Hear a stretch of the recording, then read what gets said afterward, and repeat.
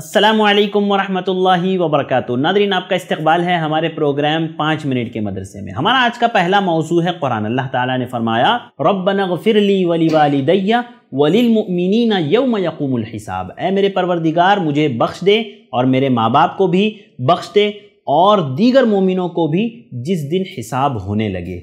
ये दुआ भी हज़रत इब्राहिम सलाम की दुआ है। और बहुत प्यारी दुआ हज़रत इब्राहिम सलाम ने मुझे और आपको सिखाई कि हम अपने लिए, अपने वालिदैन के लिए और मुसलमानों के लिए भी दुआ करें। देखिए, हज़रत इब्राहिम सलाम के वालिदैन यकीनन जो है इस्लाम कबूल नहीं किए थे, वो मुसलमान नहीं हुए थे, लेकिन ये हज़रत इब्राहिम को पता नहीं था कि मुशरकिन के लिए दुआ नहीं की जा सकती। जब पता चला तो आपने इजहार बारात किया। ये उससे पहले की दुआ है। कि हज़रत इब्राहिम सलाम ने कहा रब फिरली वली वालदैया कि अल्लाह रब्बुलमीन मेरे वालदेन की मगफ़रत फरमा। वालदेन जो बच्चे को पाल पोस करके बड़ा करते हैं, मेरी और आपकी ज़िम्मेदारी है कि हम अपने वालदेन के लिए दुआएँ करें और साथ ही साथ मुसलमान भाइयों के लिए भी दुआएँ करें। याद रखिए, इंसान जब अपने लिए दुआ करता है ना तो वो अपने लिए खुद दुआ कर रहा होता है। लेकिन जब वो अपने भाई के लिए दुआ करता है, उसके लिए आसमान की वो मखलूक दुआ करती है जो कभी अल्लाह की नाफरमानी नहीं करती। और जब वो हमारे लिए दुआ करेगी तो सोचिए कि क्या अल्लाह ताला उनकी दुआओं को रद्द करेगा? हरगिज़ नहीं।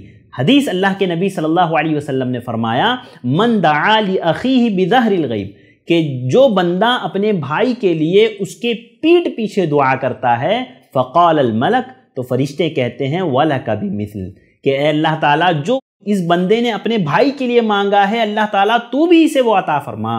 अल्लाह अकबर, कितना फ़ायदा है कि इंसान जब अपने लिए दुआ माँगता है तो वो सिर्फ़ अपने लिए मांग रहा होता है, लेकिन जब वो अपने भाई के लिए माँगता है तो वो मखलूक जो अल्लाह ताला की कभी ना फरमानी नहीं करती, वो मखलूक उस बंदे के लिए, उसी दुआ के लिए कहती है। यानी अगर आप ये कहते हैं कि अल्लाह ताला मेरे भाई को हलाल रोज़ी अता कर तो फरिश्ते कहते हैं, अल्लाह ताला इसे भी हलाल रोज़ी अता कर। अगर आप दुआ करते हैं, अल्लाह ताला मेरे भाई को दीन की खिदमत करने की तोफ़ी अदा फरमा। तो फरिश्ते कहते हैं कि, अल्लाह ताला इसको भी दीन की खिदमत करने की तोफ़ी अदा फरमा। यानी जो जो दुआ हम अपने मुसलमान भाई के लिए मांगेंगे, वही दुआ फरिश्ते हमारे लिए मांगेंगे। तो याद रखिए, मुझे और आपको चाहिए कि हम इस दुआ के उसलूब को इख्तियार करें। इस दुआ को भी याद करें जो हज़रत इब्राहिम ने सिखाई रब गफ़िरली वली वालदैया वलीमिन यौम यकुमसाब इस दुआ को मैं और आप ज़रूर याद रखें। नादरी चलते हैं हमारे आज के दूसरे मौजू की तरफ़। हमारा आज का दूसरा मौजू है सीरतुलनबी सीरतुलनबी में हम लोग बात कर रहे हैं हज़रत उमर रदी अल्लाह तु के कबूल इस्लाम के ताल्लुक से। हज़रत उमर आए,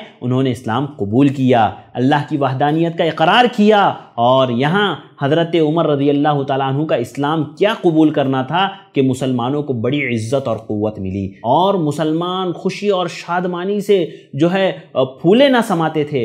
हती कि आपको पता होगा, एक रिवायत हज़रत उमर के बारे में जो मिलती है इबन इसहाक से, वो ये कि जब हज़रत उमर ने इस्लाम कबूल किया ना तो वो कहते हैं कि मैं जब मुसलमान हुआ तो मैंने सोचा कि मक्का में कौन शख्स है जो इस्लाम का सख्त तरीन दुश्मन है? इस्लाम का कट्टर दुश्मन है। ऐसा कौन सा शख्स है? फिर हज़रत उमर कहते हैं, मैंने जी में कहा कि हाँ अबू जहल है। अबू जहल है जो इस्लाम का सबसे बड़ा दुश्मन है, इस्लाम का जो है सख्त तरीन दुश्मन है। इसके बाद कहते हैं कि मैं अबू जहल के घर गया। मैंने उसका दरवाज़ा खटखटाया। देखिए, इस्लाम कबूल करने के बाद अल्लाह ताला ने कैसी ईमानी गैरत उन्हें अता की? ईमानी जज्बा कैसे अता किया? कहते हैं, अबू जहल के घर, मैं खुद गया, दुश्मन के घर। जाके उसका दरवाज़ा खटखटाया। अबू जहल ने दरवाज़ा खोला, देखा कि उमर आए हैं। कहा आहलन वसाहलन खुश आमदीद, उमर, आओ। कहा, किस लिए आए हो? हज़रत उमर रदी अल्लाह तु ने कहा कि मैं तुझे ये बताने आया हूँ कि मैं अल्लाह पर और रसूलुल्लाह सल्लल्लाहु अलैहि वसल्लम पर ईमान ला चुका हूँ, उनकी बातों की तस्दीक कर चुका हूँ, उसको कबूल कर चुका हूँ। हज़रत उमर कहते हैं, जैसे ही अबू जहल ने मेरी ये बातें सुनी, उसने मेरे मुँह पर दरवाज़ा बंद कर दिया, ये कहते हुए कि तेरा बुरा हो। तेरा बुरा हो। उसके बाद उसने मेरे मुँह पर वो दरवाज़ा बंद कर दिया। ये जज्बा इस्लाम देता है कि जब मुसलमान हो जाता है इंसान, अल्लाह रब्बुल उसके अंदर एक ईमानी क़वत अता करते हैं, जो जिस्मानी क़वत से बढ़ कर के होती है। ईमानी क़वत हमेशा याद रखिए, जिस्मानी क़वत से बढ़कर होती है। आदमी कितना ही तंदुरुस्त और कितना ही जो है मोटा हट्टा कट्टा क्यों ना हो, अगर उसका ईमान कमज़ोर है तो उसके अंदर जो है वो कुत नहीं होती है, जो एक पतले दुबले मोमिन के अंदर होती है। इसके बाद जो हालात मक्का में पैदा हुए, जो मक्का के मुशरकिन जिस तरह से डरे, खौफ में रहे, हज़रत उमर रदी अल्लाह तु के इस्लाम कबूल करने के बाद और मुसलमानों को जो मदद हासिल हुई, वो इन आगे के दुरुस्त में हम लोग और भी बातें देखेंगे। अल्लाह ताला से दुआ करते हैं। अल्लाह ताला मुझे और आपको भी ईमानी क़वत अता फरमा। अल्लाह ताला हमें वो जज्बा, वो जोश अता फरमा इस्लाम के लिए जैसे सहाबा कराम में था। अल्लाह रब्बुल आलमीन तो जब तक हमें दुनिया में ज़िंदा रख, इस्लाम पर ज़िंदा रख, जब भी हमारा खातिमा हो, खातिमा बिल खैर हो, आमीन। नादरीन आज के लिए बस इतना ही। मुझे दीजिए इजाज़त इन फिर मुलाकात होगी कुछ और बातों के साथ। असलकम वरहमल वर्क दीन की बात आम करने में आई प्लस टीवी की मदद करें।